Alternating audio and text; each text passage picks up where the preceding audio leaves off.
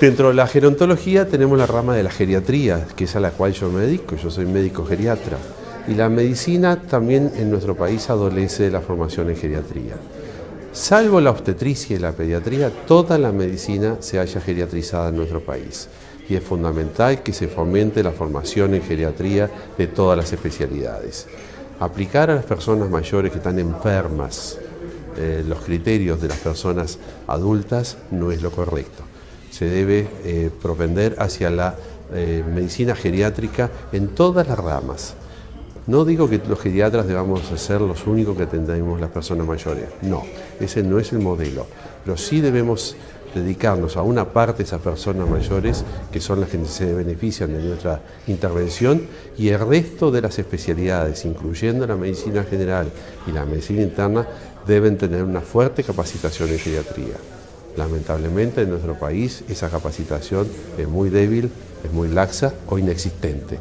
Y vemos todos los días cómo en nuestro sistema de salud la carencia de formación en geriatría es, genera múltiples problemas. La solución a los problemas que hay en la, medicina, en la medicina de las personas mayores en nuestro país es la capacitación. Tanto la facultad de medicina o las facultades de medicina, pero la de la UDELAR es la preponderante en nuestro país, como el Ministerio de Salud Pública en su rol de normatizador, deben ser muy estrictos en cuanto a la formación en ello. Fíjese que un estudiante de medicina se gradúa de médico habiendo hecho una pasantía de tan solo unas semanas por una cátedra de geriatría para recibir conocimientos elementales. Sin embargo, la formación, por ejemplo, en pediatría o en ginecología es muchísimo más extensa para el estudiante de medicina. Cada rama de la medicina debe adaptarse a las condiciones particulares de las personas mayores, fundamentalmente para evitar dos cuestiones que son sustanciales.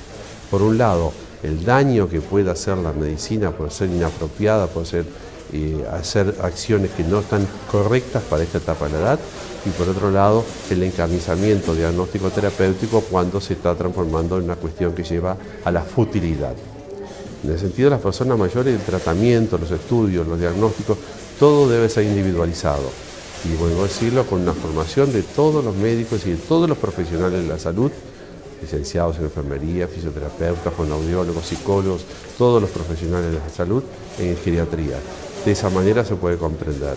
No se puede pretender que un grupo que en este momento llega al 18% de la población, que las estimaciones demográficas dicen que van a ser 25% de la población en pocos años, en poco más de una década, no se haya un conocimiento de la geriatría y de la gerontología en todas las ramas que atienden a estas personas.